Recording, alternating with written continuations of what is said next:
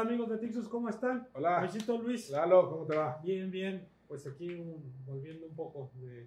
Regresando. Regresando. Regresando. Para- pero ya me voy a volver ahí, no te preocupes. Retorno de los muertos vivientes es esto. Oye, Este, marca, programa de marca de Chevrolet. sí, darle una, una repasadita a Chevrolet. Oye, fíjate que yo Chevrolet, no sé cómo esté catalogado con la gente.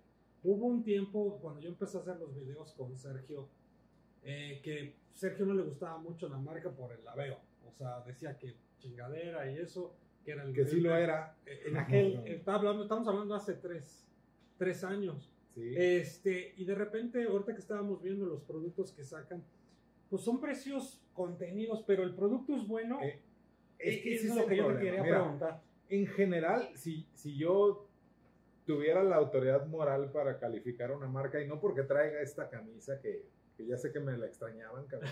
sí, güey, está padre, porque Este, van a decir, sí, a huevo, exacto. habla mal porque... No, no, no, más allá de eso. Para mí, la marca es la marca ya merito. ¿Ya merito? ¿Sí? Pero Sí. es gigantesca, ¿cómo ya va a ser ya Sí, hablo, sus productos son así, ya merito. Como la selección Mira. de México, Algo así, algo así. nunca pasa Eh, en, en promedio, en Sí. promedio obviamente, ¿no? Porque tiene productos buenos, decentes, mediocres, jodidos, de todo, pues. Pero si lo promesas es ya merito. Y sobre todo el gran problema de Chevrolet es el equipo y los interiores. ¿Sí? Pero si nos vamos paso a paso, como dices, hay, hay autos con precios contenidos, dijeras tú.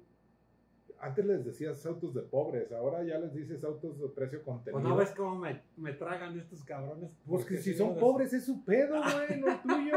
Bueno, está bien. Este, No, este que Luis está diciéndolo. eh, Sí, ahora- es una de las frases célebres de aquí del programa, eso de coches para pobres. ¿Y quién la inventó? Pues sí, se me salió a mí, pero bueno. No, pero mira, vamos, vámonos así, tratando de, de recorrer la gama de Chevrolet. Por ejemplo, está el Beat. El Beat, el Chevrolet Beat, tanto en hatchback y notchback, que es casi sedán. Este, y sí tiene buenos precios, 150 mil el Beat 600 y Hatchback de entrada. 161 y mil. 161 mil. Son buenos precios. Espérame, espérame tantito. ¿Qué es notchback? Notchback es Hatchback, Una- pues ya sé sin algas, o sea, sin cajuela, pero. Ok, imagínate que le pones una nalguita chiquita. y es lo mismo, pero con una nalguita, simulando este, cajuela, Ajá. o sea, sim- simulando un tercer volumen. ¿Sí? O sea, los autos, acuérdense, monovolúmenes, este, de dos volúmenes, de tres volúmenes. Y la cajuela, digamos, es ese volumen extra. Y lo simulan. Caso, por ejemplo, como el Toledo, Ajá. que es un hatchback, Pero le meten un pedacito ahí de cajuela. entonces se convierte en un notchback. Parece mames. sedán o coupé. Son inventos de las marcas, ¿no?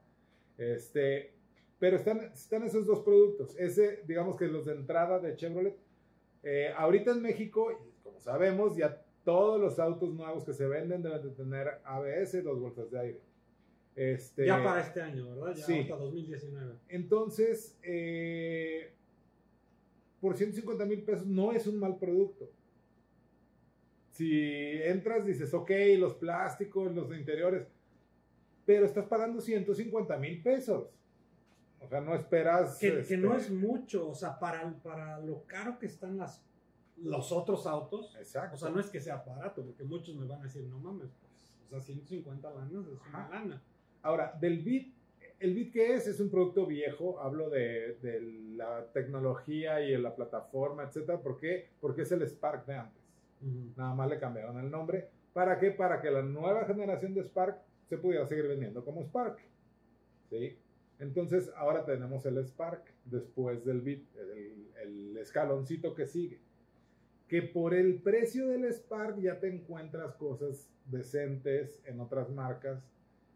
Y obviamente le falta también motor, etcétera, pero no quieres un bólido, ¿no? Bueno, pero ¿tú qué, tú qué sabes? Ah, ¿Han salido buenos? ¿Han Sí, salido...? son buenos. O sea, son buenos sí. en cuanto a durabilidad. Ándale, sí, sí, sí. Sí. sí.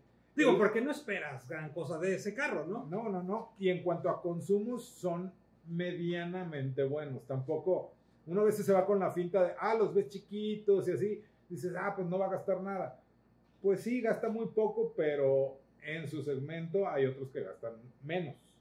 ¿No te recuerda como al Atos? O sea, sería la, la competencia, el, el, resultado de haber Es- visto el éxito del Atos. Es y- que el Atos es el, fue el primer producto en México ah, así, subcompacto, citadino, Urbano totalmente, urbano, etcétera. Este, fue el primero así, de chiquito y eso. Hubo, había otros también chicos, pero el Atos fue el primero. Entonces, llega, en el caso de Chevrolet, tiene su Spark, que ahorita ya lo conocemos como Beat, la generación anterior, y la nueva generación de Spark ya se llama así, tal cual, Spark. ¿Sí? Entonces, ve, ve los equipos, o sea, son motores de 1.2 litros, 81 este, 81 caballos. caballos, que es bastante decente. Por ejemplo, estuve viendo esta semana, fue la presentación en medios de el Renault Kwid. Ajá. Tiene sesenta y tantos caballos. O sea, el Beat tiene 15 más. Ajá. ¿sí? Pero, digo, no vamos a hablar ahorita de Renault, este, tiene un poquito más de caballaje, es un poquito más tragón, pero aún así, o sea, estos carros no son para... Bueno, pero, pero Dragón, Dragón, ¿cuánto te puede gastar? Ah, no, pues te 1.2, va, a o sea, dar, te va a dar 12 kilómetros por litro, una cosa así, dependiendo de pata, ¿no? Ah. Este, pata peso promedio, ¿sí? El Spark nuevo, eh, ese ya, digamos que mejoró la plataforma, la tecnología, dos, tres cosas de equipo, etcétera, y ya se va hasta 193 mil pesos. Ese ya no me gustó, compañero. Exactamente, porque ya es 43 mil pesos más caros. ¿Por qué? por... ¿Los, por un- los justificas? No. El Bit se me hace Muy bien. bien a secas. El Spark por 193 mil pesos, la versión de entrada, la base, digamos. Este, insisto, ahí sí pones el Quid a un lado, puedes poner eh, eh, de Fiat el, el 1, etcétera, y ya ves cosas mejores en, en la competencia. Mira, dice que tiene un motor 1.4 con 98 caballos. Este, y bueno, tiene el sistema OnStar y eso, o sea, pero no se me hace. que- Depende del- de la versión. Ajá. El sistema OnStar no está en la versión base. Está en la Premier en la manual Premier y en la Premier CBT. que ya cuesta arribita de 200. Ajá. Y por 200 ya te encuentras cosas también decentes. ¿no? Mira, vidrios eléctricos, aire acondicionado, audio FM, USB, asientos abatibles, bolsas de aire frontales y laterales. O sea, trae cuatro bolsas. Sí. O sea, estás pagando, a diferencia del Bit, dos bolsas. O sea, de cosas así que dijeras tú importante. Que, que sí valdrían la pena, insisto, pero ya vueltas a ver la competencia y ya te encuentras cosas similares, este, con quizá interiores no tan eh, básicos, por no decir jodidones, etcétera, ¿no? Ahora ya te ven que sale al famosísimo Aveo. ¿Qué pedo con el Aveo? El Aveo se ganó la pinche fama de vehículo basura, Ajá. porque eso era la generación anterior, era una basura. Este, no era ni económico, ni seguro, mucho menos, ni tenía buen manejo, no tenía buenos interiores, nada tenía bueno, nada, nada, nada. Oye, pero ¿qué tal se vendía el cabrón? Por barato, Por barato, ¿no? sí, acuérdense, el auto más vendido siempre ha sido por barato, no por bueno. Los autos buenos no son los más vendidos nunca. Mm. ¿sí? Este, pero esta nueva generación de Aveo eh, es eh, el Chevrolet Sail, se conoce en Sudamérica, eh, viene de viene de Singapur, creo, de Asia, de donde sea, pues, eh, y ya es un ya es un carro decente. ¿sí? Tampoco es una bala, ¿no? No, no, no, no, es que no buscas bala por menos de 200, Mira, un 220 motor mil pesos. 1.5, 107, 107 caballos. caballos. Lo mueve bien. Yo me he subido Sí. a, a, a estos, inclusive en. en ¿Cómo que lo mueve bien y te has subido? ¿Sí? ¿Qué pasó bien Estamos hablando de carros, ¿verdad? Sí. Ah, es que de repente te brillaron los ojos. Pero bueno, Sí, ese es sigues otro el, tema. el- el- en el modo vacacional, ¿verdad? Es que güey, dices que lo mueve bien y que te subiste. Dije, ay, caray. Bueno, Bueno, ¿qué, pasó? Disculpa, perdón, perdón. perdón, Se ya- patinó me- la- me patiné. Se patinó como no se patina ya este Aveo, por ejemplo. Este Aveo, ya con ABS, etcétera, ¿no? Entonces, este Aveo ya, esta nueva generación ya es un auto decente, ¿sí? Este, buena opción para, para lo que ofrece, sí, se mueve bien, insisto. Los plásticos, los interiores siguen siendo, pues, lo que pagas y ya, ¿no? Pero ahí es, el, ahí es donde empezamos con el gran problema de Chevrolet. En, ya de partir de Aveo en adelante ya esperas, o ya ves en toda la, la competencia mejores interiores. Y Aveo sigue siendo inferior. Te brincas al que sigue, que es Cavalier. ¿Sí? Si nos brincamos al que sigue, que es Cavalier, Cavalier debería haber costado 15% menos. ¿sí? Su precio 15 o 20% menos. 258. 258 por un auto que no compite con nada de ese segmento, más que en tamaño, pero no tiene el desempeño que debería, no tiene los terminados que debería, no tiene, o sea, lo único que tiene es seguridad decente a secas. Oye, desde que lo trajeron, no sé si tú te recuerdas, creo que es un vehículo chino, ¿no? Creo que lo traen de China, si no mal me No, equivoco. ese se la veo. Este, el, Mm, no, según yo era el Cavalier es Fiat, Ok, bueno, entonces Sí. no es ese. es un, es un Fiat. Entonces me estoy confundiendo con, según yo lo traían de China. Pero no es este el que habían traído casi en 331 la versión equipada. Sí, Entonces sí es el que sí lo traen de China. Entonces no, no, no, este, no, bien, es un Fiat. Sí. Es plataforma, motorización, todo Fiat. ahorita es, es la duda que tengo ahorita. Este, pero por estos precios, 258 hasta 321, por ese carro. Perdón, perdón, estoy confundido. Me confundí con, me fui con FCA y su, A y ver. su neón.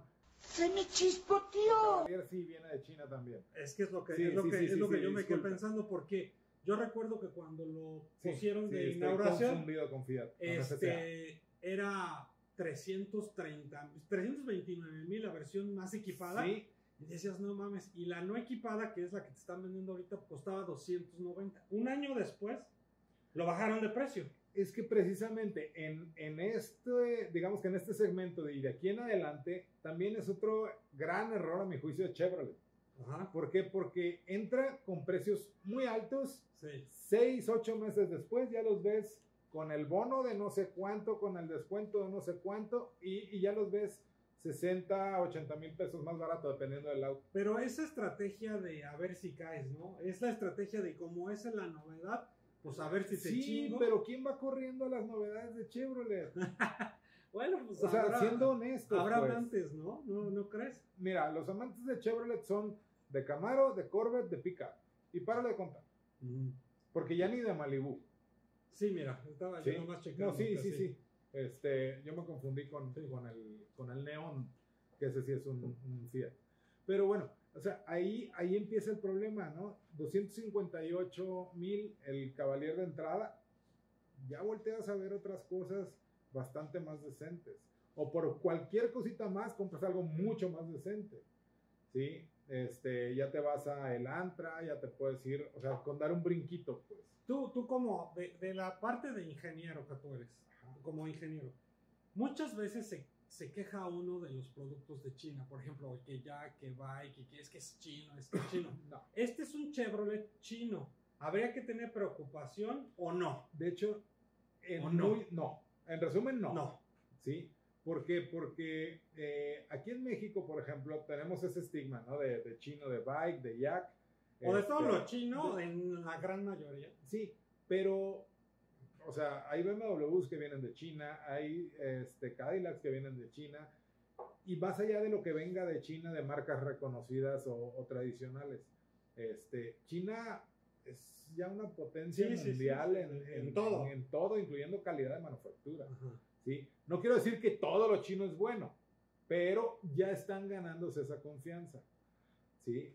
Eh, en, en el caso del Cavalier, es un auto confiable, etcétera. Simplemente su precio, ahí es donde. De, de- ¡Ah! entonces, de, de la- de los primeros autos, digamos, hasta la, pues, los subcompactos, el Beat es el único que nos convence, ¿no? Y el Spark en versiones de entrada. Aún así está 193 mil caro, ¿no? Eh, porque es versión de entrada. No sé si yo estoy ¿Tienes- ciego. Tienes eh, un poco más de seguridad. Dos bolsitas. No, Dos bueno, bolsitas. Bueno, no, es que no sé si yo estoy ciego o, o no, pero yo los veo igual, cabrón. O sea, si pasa una de esas chingaderas, Sí. perdonen para los que tienen uno, pero para mí se me hace una chingadera. Este, Sí, es cierto. Lo- Y, y dices, ¿era Spark o, o pero tienes, ¿Te hace digo, diferencia? tienes una plataforma un poquito mejor, un motor con veintitantos caballos más. Por 43 mil pesos. Veintitantos caballos Es que mira, es bastante. co- no, pero comparativamente de los... Es que a lo mejor decimos 43 mil pesos, tal vez suena no mucho. Pero si tú lo ves, en el precio es 25% más caro, güey. Sí.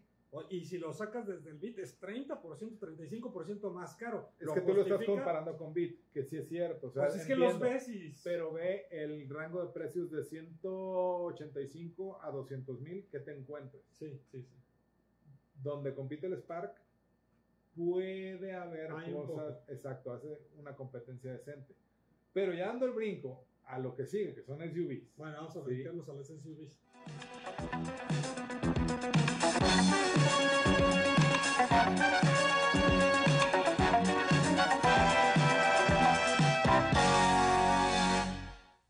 Si te gusta la política, pero eres muy grillero, te esperamos en Chavorrucos.